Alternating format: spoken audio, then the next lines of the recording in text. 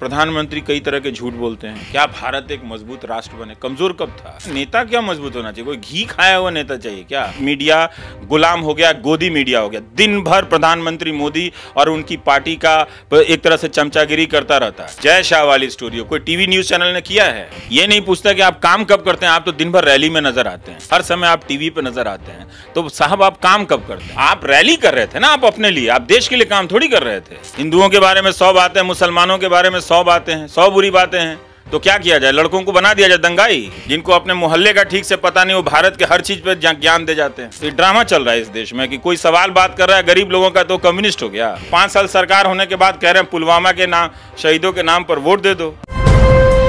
Live TV सच सबसे आगे। नमस्कार द लाइव टीवी की तरफ़ से आप सभी का स्वागत।